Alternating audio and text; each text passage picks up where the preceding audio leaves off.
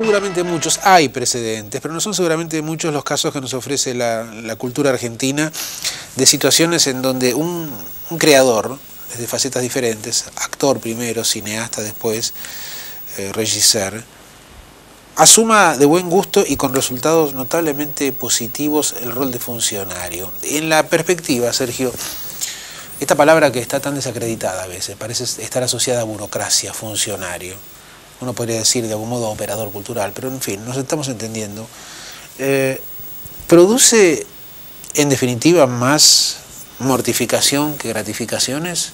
¿O hay posibilidad de ganarle esa pelea a la reiterada frustración que todo funcionario honesto siente cuando las cosas que quiere hacer no las puede terminar de hacer? Mira, yo desde luego te puedo hablar desde mi experiencia. En, en mi experiencia, en el caso de la dirección del Teatro Colón, te puedo decir que, bueno, se, vive conflictos constantes eh, que, tienen que ver con, la importancia del espacio que se dirige, con la cantidad de gente que en él trabaja, con la responsabilidad social que eso implica, pero también se disfruta mucho. Quiero decir, cuando eh, dentro de una programación de la cual has sido responsable, aparecen, digamos, los, los elementos de belleza que uno soñó y, además una buena respuesta por parte del, público, bueno, es, es un momento de un, de un, gran placer que compensa absolutamente los momentos de dolor. Desmiente un poco la el estereotipo de que automáticamente la condición de funcionario tiende a esmerilar todo lo que pueda ser de creatividad. No en sí mismo, para nada. Todo depende de, los ejemplos concretos que se den. Desde luego que hay funcionarios culturales que en los espacios que deben dirigir se encuentran mucho más rodeados de limitaciones que de posibilidades y en, eso caso, en ese caso deben ser muy, muy infelices. No, no fue el mío ni es el mío siempre fuiste eh, un tipo cuyos, cuyos apetitos culturales, esto como conocimiento de tu figura en términos personales, me dan a mí esa sensación, han, eh, han permitido entrelazar predilecciones exquisitas con una sensibilidad popular en el caso del fútbol, en el caso del tango, que sé que te ha gustado siempre. Esta pregunta es, es casi obvia, sin embargo la hago adrede. ¿Qué importancia a esta altura de tu vida juega la receptividad que pueda tener una película en términos de recaudación. Más allá de que recaudar, que, la película se vea, le, tiene que interesar a toda persona que haga arte. Quiero decir, ¿cuánto te importa comparado con lo que te importaba antes el fenómeno de la receptividad masiva o cuantitativa de una película como El sueño de los héroes? Me importa, desde luego que me importa, porque para empezar implica que, que tu propuesta es recibida por mucha gente y cuando es recibida por mucha gente es porque es bien recibida pero no, no, no debe ser un elemento que paralice tu posibilidad creativa ni que convierta cada uno de tus proyectos en hechos de astucia eh, o de habilidad más que en hechos creativos, que es la función de los artistas.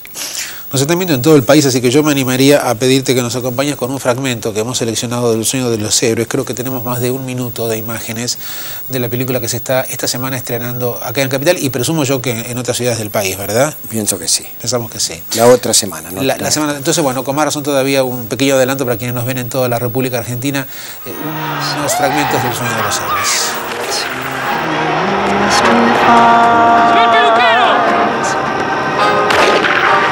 A lo mejor usted puede ver lo que yo no veo. Usted ha hecho una especie de viaje. Un viaje más largo de lo que cree.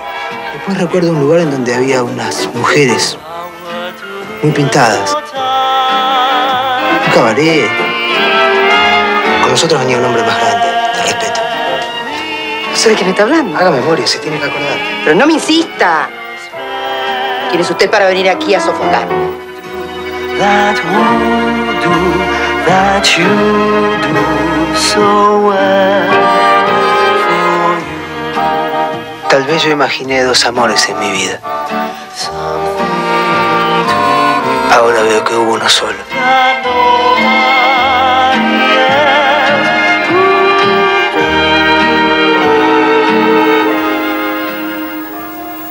Ellos son Germán Palacios y Soledad Villamil. Soledad Villamil. Soledad Villamil no te voy a decir qué descubrimiento porque quizás sería, no sé, un poco indecoroso para con ella, pero qué presencia luminosa. Absolutamente, yo creo que tiene una dimensión estelar, que tiene una sugestión, que tiene una, una fotogenia que, al servicio de su talento este, dan resultados notables. Yo estoy muy contento con ella y muy contento con, su futuro.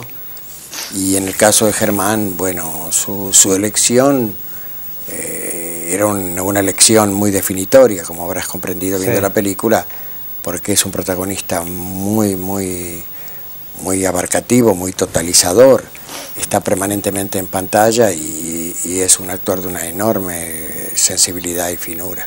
Sí, yo creo que casualmente en el papel que hace de, eh, de, Gauna, de Emilio Gauna, eh, Germán Palacios, eh, hay gran parte de la definición, yo diría, me animé hasta filosófica de la película. He aquí un personaje metido en un mundo de villanos absolutamente exentos de toda, de toda perspectiva autocrítica, cuando lo que este hombre inspira en la platea, al menos en quien la vio anoche, que es mi caso, es una enorme ternura.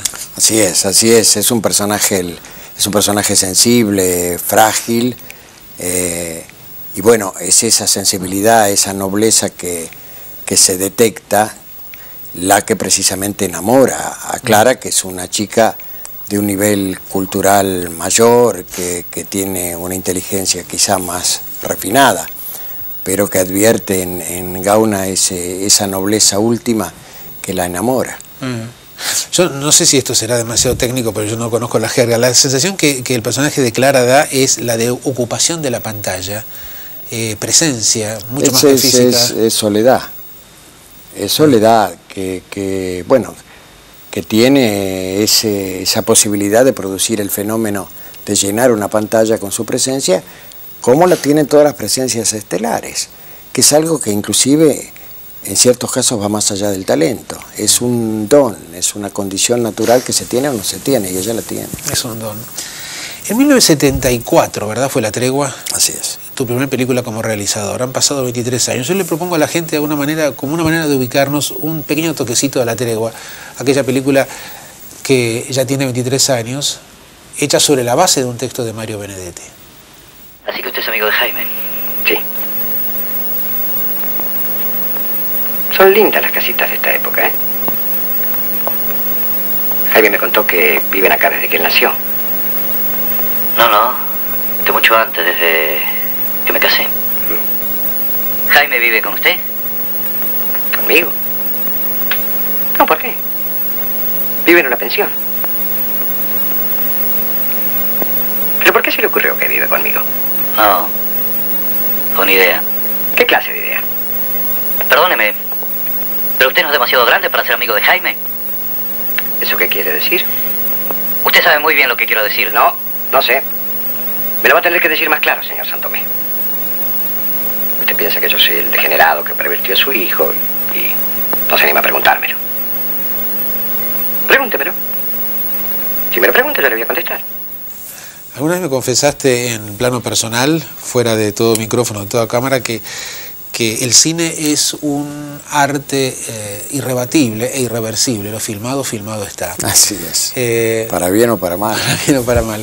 Cuando mirás, sobre todo desde, este año que está terminando, creo yo de manera feliz con el, con el estreno de la película, de que ha sido el año más difícil de tu vida, seguramente, no tengo duda de eso. Absolutamente.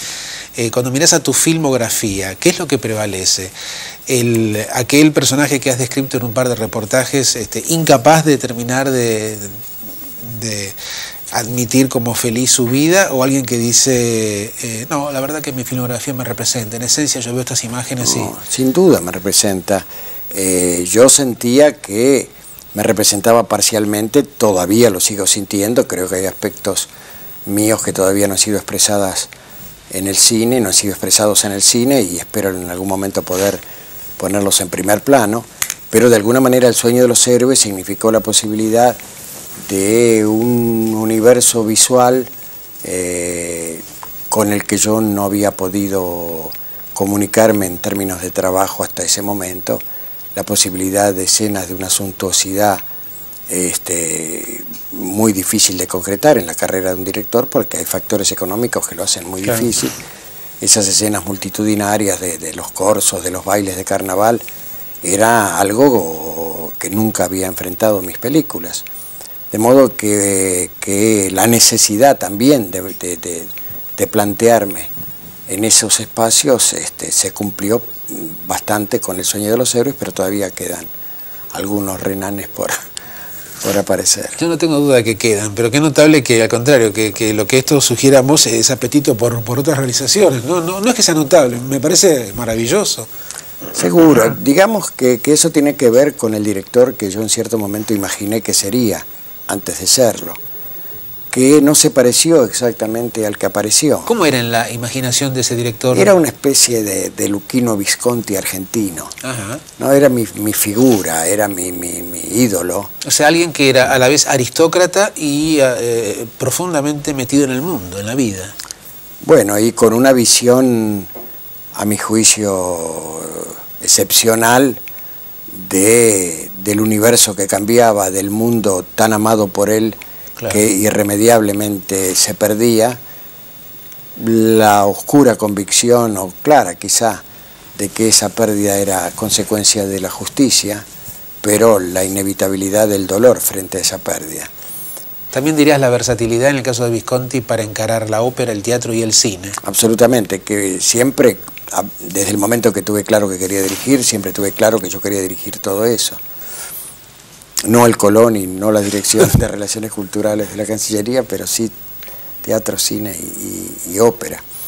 Este, de modo tal que cuando yo fantaseaba conmigo mismo, imaginando las películas que haría, este, no pensaba en películas del corte de la tregua, de crecer de golpe o de sentimental, sino en, eh, en, en ámbitos más bellos, en espacios más grandes, en una posibilidad de, de utilizar la suntuosidad y la belleza de los objetos como valores expresivos, que es algo que, que claro. siempre me deslumbró en Visconti. Claro, claro. Eh, esa belleza no gratuita, uh ¿no?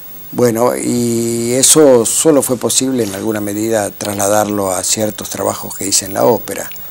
No, no, no lo fue en el cine ni lo fue en el teatro. Pero tengo mucho para hacer, así que... Una película con el de los Héroes, además de todo esto que acá quedó dicho también, y vos no lo has ocultado, Sergio, trajo aparejado una serie de, de momentos duros, ingratos. ¿Cómo está preparado un creador? Alguien que se mueve en el plano, en el plano en el que vos te movés, para litigar con la dureza de una realidad que atraviesa la propia obra en el momento de filmar. Yo te diría que mal, estamos mal preparados, o por lo menos yo estoy mal preparado digamos que las dificultades que implica filmar una película y una película compleja, bueno, forman parte de las leyes del juego sí. y uno las conoce, sabe cuáles son y tiene la fuerza necesaria para enfrentarlas. Pero bueno, en este caso se agregaron otras, otros problemas de producción, problemas de relación, problemas económicos, que hicieron que en cierto momento la filmación fuese una pesadilla y como eso también eh, operó en, en momentos también complicados de mi vida por otro tipo de razones, bueno, creo que ahí estaría la explicación de mi enfermedad posterior. Claro, claro, claro. Sí, esto, esto lo, lo, lo, conozco, lo, lo, has dicho, pero de todos modos es importante, pienso yo, que esto tenga de, de, oh, de, dimensión pública, ¿no? O sea, la lucha del hombre contra los elementos. Eh, seguís pensando que no debiera ser así, que el creador debería tener, debería tener otra esfera de preocupaciones exenta de aquellas que son tan... Sin duda, pero, pero en ese sentido ya creo haber llegado a ser realista, porque sé que eso prácticamente no existe. ¿Hay algo que apreciás hoy, noviembre de 1997, que directamente no apreciabas o no registrabas, no estaba en tu óptica hace nueve, diez meses cuando comenzó tu enfermedad? No, que apreciase no, pero sí se ha reforzado mi necesidad de, vivir un mundo afectivo pleno. Yo creo haberle dado cierta, mucha importancia toda mi vida a eso siempre he tratado de, bueno, de dar y recibir en ese plano todo lo, que, todo lo posible, pero la experiencia de mi enfermedad y sobre todo algunos aspectos de esa experiencia, como el enorme afecto que recibí, me hicieron valorizar aún más el terreno de los afectos, el terreno del amor, el terreno de, de la solidaridad y, y, de la fuerza que de pronto eso puede tener. Pasa que yo esto no lo he dicho, no, no, no lo he dicho, pero como eh, han pasado horas que yo vi la película y pienso que debo decirlo, y te lo debo decir a vos, aun cuando haya de por medio dos cámaras y algunos miles de personas, eh, en, la, en la avant premier del Sueño de, los Héroes, en el lobby del cine, eh, por lo menos este ser y otros seres queridos tuyos, se encontraron con otros seres queridos. Y en algún momento una persona muy cercana a mí me dijo, no, no puedo distinguir este clima del clima de la clínica. Fue muy impresionante porque aparecían personas que no habíamos vuelto a ver desde las noches en que nos juntábamos para preguntar por tu estado de salud. Y yo hasta lo despersonalizaría, Sergio. Diría que además de nuestra preocupación por el tipo Renan, por el, por el individuo que queremos y que, al que, y que nos ratifica estando sano, o mucho más sano que lo que estabas, eh, creo que ha habido un reencuentro de la gente consigo, con aspectos de sí mismo. Apreciar, por ejemplo, en, el plano profesional tuyo, tu desdén o tu, o tu, o tu bronca contra la mediocridad. Que a este tipo le vaya bien, creo que es una manera que tuvo la gente de definir también una posición. No sé si me explico. Sí, creo que sí. Yo creo también que en el fenómeno que se produjo alrededor de mi enfermedad y de, ese, costado de solidaridad enorme que recibí, bueno, se dan distintos factores. Eh, digamos que el análisis de esos factores puede implicar una forma elíptica de, de, autoelogio y no quiero incurrir en eso. Pero eh, tengo la convicción de que la gente necesita modelos y junto con eso tengo la convicción de que en este momento no son fáciles de encontrar. Que la oferta de modelos este, con una cierta cuota de exigencia deja de ser absolutamente atractiva para convertirse en repelente.